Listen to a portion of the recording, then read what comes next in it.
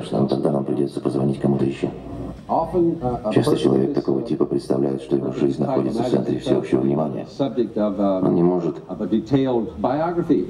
не испытывать эмоции и не переживать события, даже самые обычные, даже самые незначительные.